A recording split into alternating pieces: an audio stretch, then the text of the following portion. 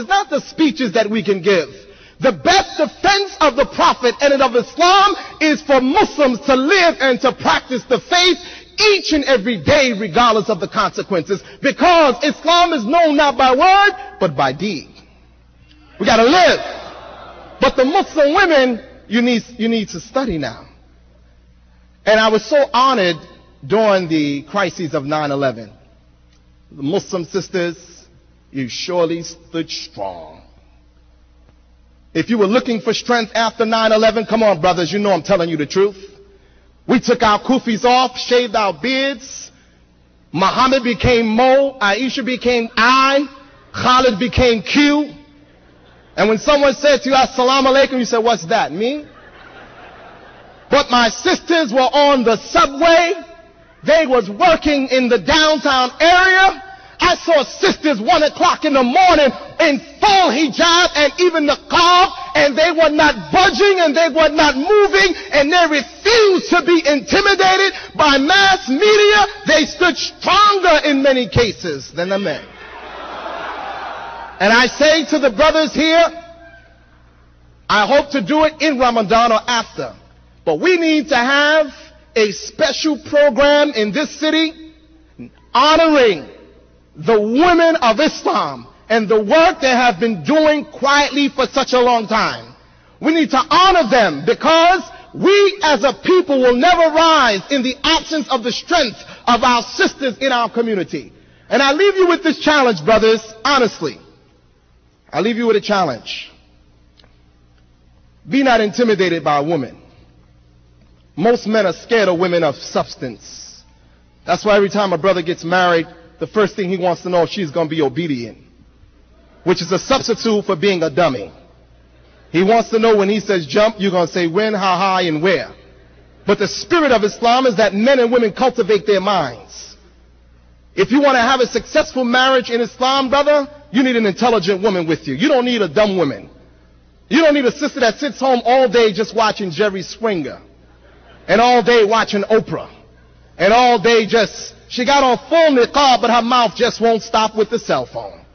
You need today women in our community who become the doctors and lawyers and engineers and the technicians and the educators so we can begin to claim our rightful place within this society because we ain't going nowhere.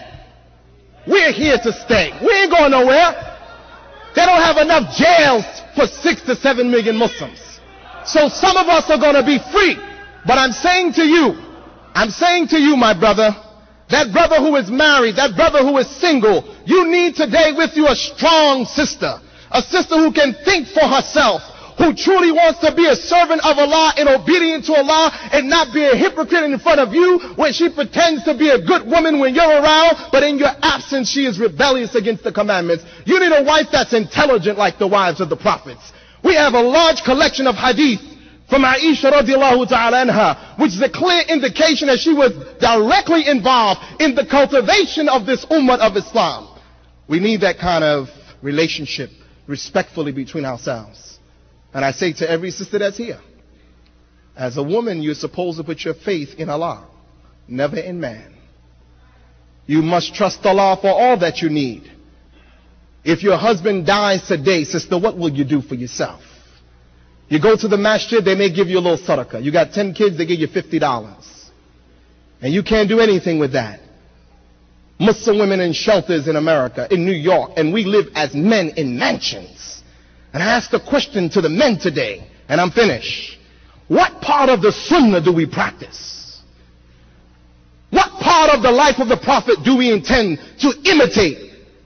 The nice beads that we have, the nice kufis we have, the nice thobes, and to my African American brothers, you're born in America, you get influenced by foreign brothers, and you don't even speak English no more. Brother, mashallah, Abdul Malik, how are you doing? Alhamdulillah, brother, mashallah, acha. No, that's my African American brothers. Your whole mind is transformed. You gotta wake up. And I say to the sisters and brothers here, work together for the common good of this ummah. But brothers, I submit to you, we cannot continue to isolate and ostracize Muslim women from participating respectfully in our development. If they don't become an intricate part as they was in the life of the Prophet in our struggle, we will not be successful. They have to be a part of it. They got to come out the mosque basements. They got to come from way in the back someplace in the corner. They got to be allowed to go out into the world trusting that they will be good servants of Allah and pursue the highest degrees in education because that will strengthen this ummah. Brothers used to amaze me. No male doctor can see my wife. I say, brother, well, let your wife go to school. No, astaghfirullah, brother. They go to school, they become corrupted. So what do you think Jerry Springer is doing? So brothers and sisters, I love you. But stay strong and defend the Prophet with your life if necessary.